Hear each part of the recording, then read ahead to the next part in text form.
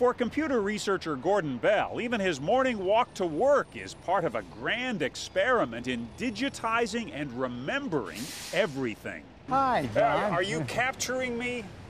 Ah, uh, yes, I am, yeah. The little camera around his neck takes a picture every 30 seconds or so. A sound recorder rolls non-stop.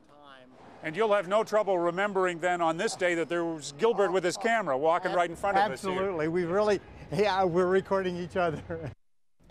At 71, Bell's own memory is still good, but he's now saving his whole life on computer, from childhood certificates to all his medical records. Memories make life richer, he says. I can retrieve everything I ever heard, seen, or done forever. He has digitized 50,000 family photos. He hasn't deleted an email in five years. I have 100,000 emails.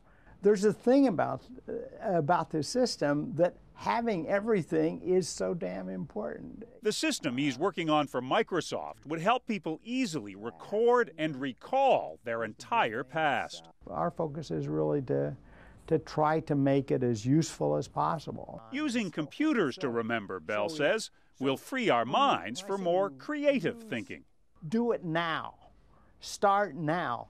Why use your own brain for storage figures when computer memory has become so cheap? 15 years ago, a gigabyte of memory cost $1,000. Today, it costs less than a buck. One gigabyte can hold the content of a thousand novels. So you would tell young people today, never throw anything away. Absolutely. Store everything on your computer. Right. If Gordon Bell and his research team are successful, we may one day have instant recall of everything without actually having to remember anything.